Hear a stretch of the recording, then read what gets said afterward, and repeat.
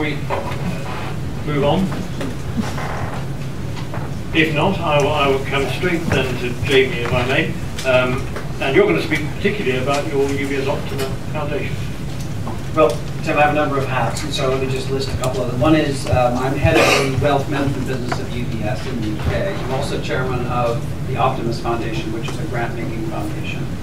Um, and and I, what I'd really like to talk about, though, is what we've done in the space of social investment tax relief, SITR. Um, just by way, if you haven't if you haven't heard of UBS, we're the largest wealth manager in the world, and um, we have two trillion dollars of client assets in our care, which which is an enormous number.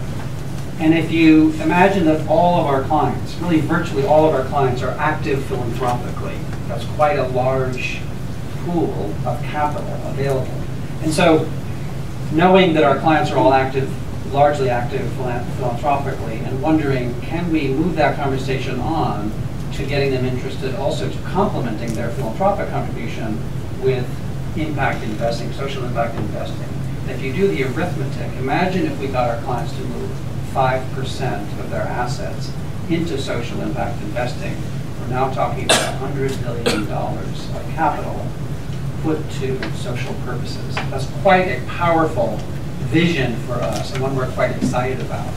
And in fact, our chief executive is very interested in talking through with clients about making philanthropy and social investing an asset class. In other words, mainstreaming it in their general conversations with their wealth advisors to ensure that philanthropy and social investment are a part of the normal conversation they have.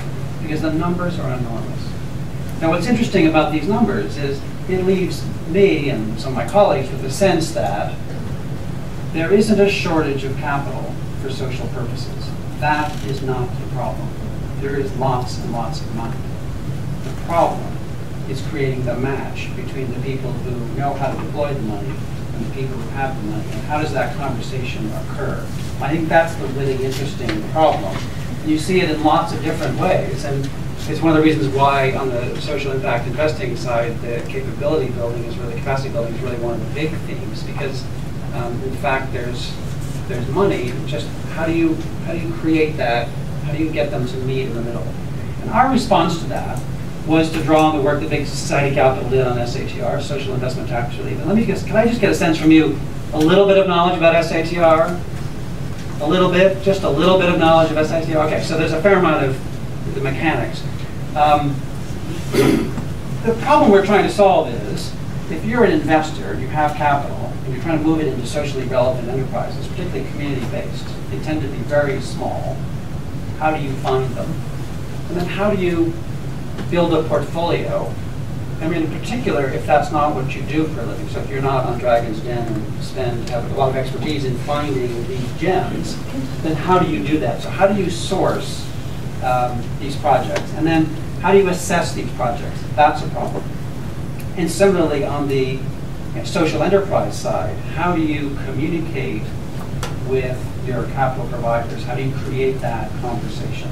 And our response to that was drawing on the SITR, the Social Investment Tax Relief Framework, which came out in 2014, is to then build a fund in conjunction with an organization in Bristol called Resonance, which we built a fund, an SITR fund, based on Bristol social enterprises. So the objective is to build a portfolio of 12 to 15 social enterprises from Bristol and build a pool, have the due diligence done by somebody like Resonance, which then creates for the investor, it creates a diversified pool of these 12 to 15 different loans in this case to social enterprises in which the due diligence is done by a capable organization like Resonance.